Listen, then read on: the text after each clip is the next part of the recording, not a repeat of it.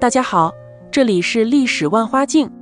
清朝是离我们最近的一个封建王朝，清宫宫女的生活也一直是人们津津乐道的话题，尤其是他们的情感和婚姻这样香艳的故事。十多年前，在热播剧《甄嬛传》中有这么一个情节：为稳住主子甄嬛的地位，姑姑崔槿汐不惜牺牲自己，同那服侍雍正帝的苏培盛结成了对食。孤寂的深宫中，槿汐从此有了陪伴，即便做不得那寻常夫妻，最起码也有了个依靠。而对于真正历史上的宫女来说，这也是一条不错的出路。但并不是所有的宫女都能走上这条路的。宫女在到了年纪后，都会被放出宫。他们或许本以为能觅得良人度过余生，但往往很快就被骨感的现实打败。因为就连路边的流浪汉都看不上这些姑娘。那么是什么导致这种情况发生呢？末代皇帝溥仪晚年曾道出过其中的真相，而在溥仪的讲述中，这也不过是宫女们残酷生活中的冰山一角，住着最豪华的宫殿，过着乞丐都不如的日子。紫禁城作为皇城，住着一群天底下最尊贵的人，因此对宫女来说，必须要时刻警醒，毕竟过的是脑袋别在裤腰上伺候主子的日子。这具体体现在日常的睡觉、吃饭，甚至是出宫上。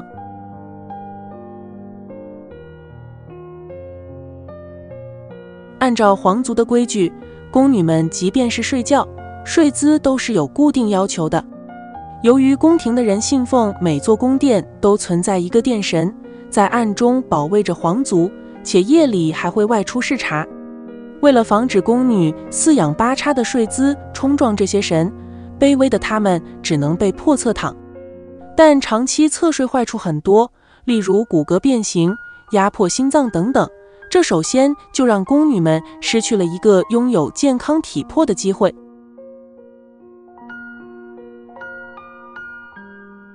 除此以外，在吃饭上，宫女也有诸多讲究。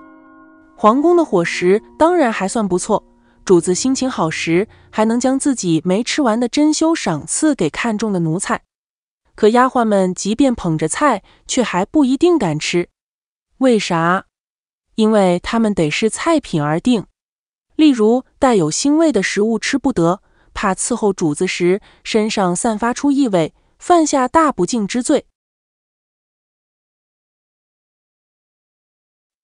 而当夜里值班，就算腹中再饥饿，宫女想饱餐一顿也是不敢的，因为吃得多，出宫的次数也就多。工作性质规定，他们必须随叫随到，如若不到，轻则体罚，重则性命有余。因此，没人愿意冒这风险。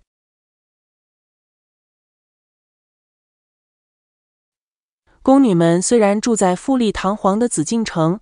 但却终日过着食不果腹、夜不安寐的日子，长此以往，身体可不就得出事？其中宫女们最常得的病，就是因郁结而患的肝脏病。在《清宫医案研究》这本书中，就有记载，在乾隆四十八年的六月初时，御医为宫女盛妞诊断肝胃不和的记录。六月十一，御医又发现一例肝病患者得格。当月二十五。一位名叫八妞的宫女也被确诊患上肝病。众所周知，肝脏是用来排毒的，可一旦情绪抑郁，肝气就得不到疏通，毒排不出去，别说肝病了，其他病也得同步找上门。在百病缠身之下，即便熬到出宫，宫女的身体也近乎于被掏空了。而这还不是最残酷的。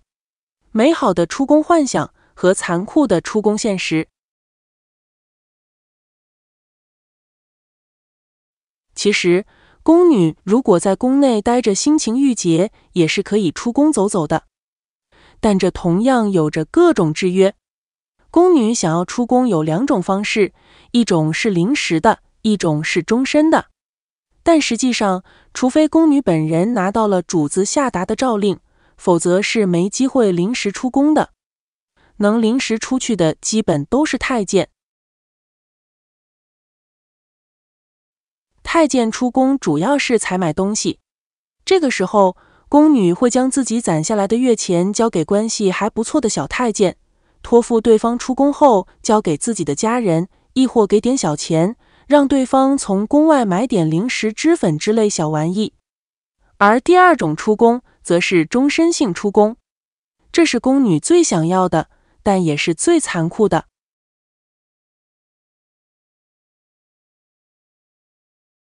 在顺治、康熙时期，宫女须得年满三十岁才能达到出宫要求。可当时人均寿命本身就短，据学者林万春的《我们历代人平均寿命的预期寿命》中统计，清朝人的平均寿命也只有三十三岁。三十岁的宫女放出宫去能干什么？大概率也只能拿着在宫内存的梯级钱了此残生罢了。他们将青春奉献给了深宫，却只能落了个孤独终老的结局。好在从雍正开始，便将宫女出宫的年龄降至二十五岁。如此一来，恢复自由身的宫女还是有可能婚嫁的。因此，所有宫女都盼着到二十五岁生日之时，由内务府的会计司通知其所属的领事，然后由领事告知宫女的家人，让其准备车辆接人。宫女被接回家后，即可自行婚配了。但理想很丰满，现实很骨感。一来，清朝女子十七岁若还云英未嫁。那圣女的名号铁定要落到她头上，因为在清朝，女子十四五岁成家，十五六岁生子，到了快三十岁时，很多人可能都已经当上了祖母了。二十五岁的女子与十五六岁的相比，不管是从容颜角度、生育角度，还是社会认可度，都不如她们吃香。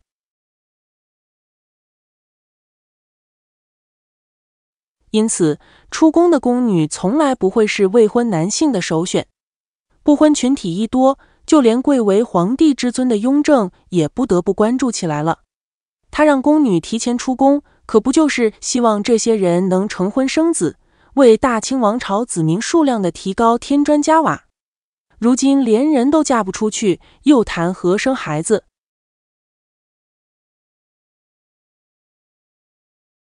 于是。雍正帝想了一个妙招。当时武将群体中有不少将领，因为常年在外镇守四方，蹉跎了岁月，也耽误了终身大事。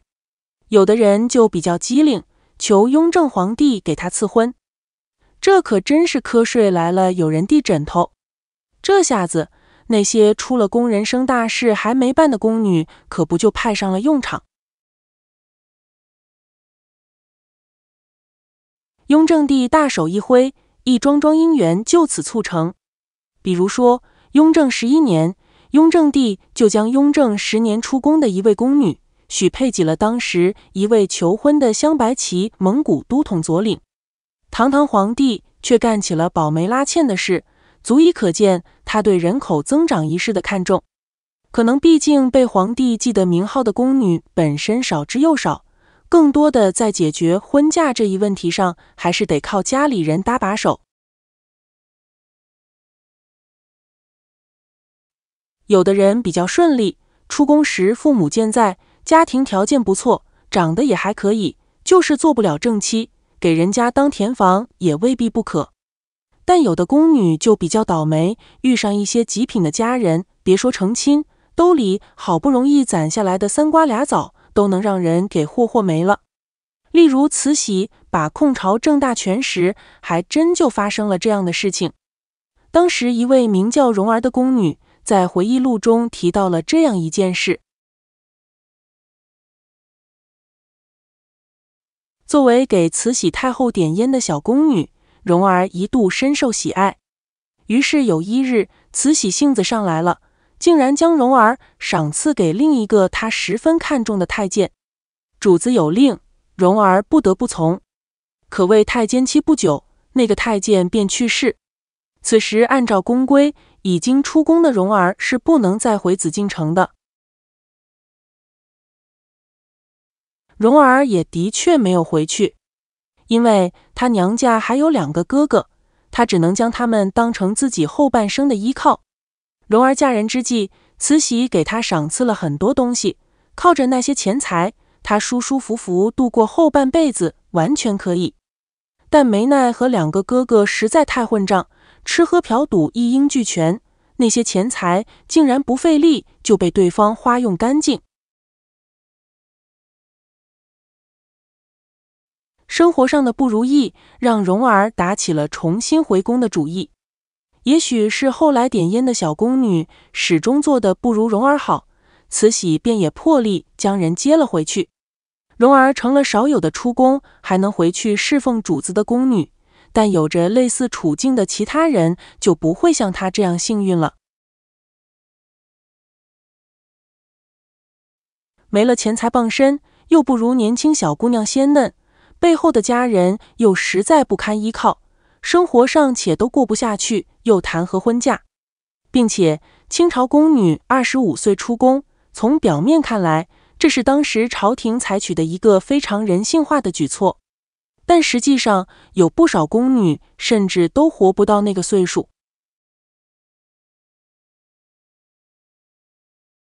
历史上就曾有过这样一个案例。一宠妃将宫女打死，皇帝十分气愤，说要严惩，以防其他人会效仿。但所谓的严惩，不过是将妃子的位分降了一级，没过多久又找个理由升了回去。至于那名宫女，已经没人记得她的死亡。如此流于表面的惩罚，对宫妃自然形成不了震慑。一个小宫女。操作得当，自然可以让她死得悄无声息。宫女和太监的命都拿捏在主子手上，即使错在主子，往往当权者对此也只是轻拿轻放。总的说来，宫女出宫难，出宫后嫁人更难。有人可能要说，不指望出宫的宫女嫁给什么大富大贵之人。难道找一个寻常老百姓为夫也不行吗？但实际上，人家平头老百姓根本不稀罕那些宫女，甚至于说，连街头的流浪汉都看不上他们。宫女宿命几何？前文说过，宫女除了总吃不饱外，还要忍受心理和疾病的折磨。但宫女们的身体背负的还远远不止于此。溥仪在我的前半生中曾道出了宫女身上除了肝病，其实还存在的另一种病况，那就是血瘀。这是指因心情抑郁、饥饱不调等引起的血液运行不畅，甚至发生停滞的病症，主要表现为四肢无力、便血、脉沉、胸肋刺痛等。其实这根本算不上什么大病，经过调理一般都能治愈。但古代医疗本就落后，再加上宫廷之中根本不会有人给宫女调理病症，并且即便她们出现四肢无力，还必须得忍着病症继续干活。久而久之，血瘀加重，她们体内就会产生另一项更严重的症状——不孕不育。到这里，可能大家就明白为何宫女出宫后婚事会成为老大难的问题了。在不孝有三，无后为大思想的影响下，男人就算再穷，宁可找个能生儿育女的丑八怪，也不愿找个貌美如花但不能生育的宫女。毕竟这些人不像达官贵人家，正头娘子不能生，他们还能纳妾再娶，总归不需要担心子嗣问题。可老百姓一辈子也就只能娶上那么一个妻子，这要是娶回家还不能生孩子。那她就是长得像花一样，又有什么用？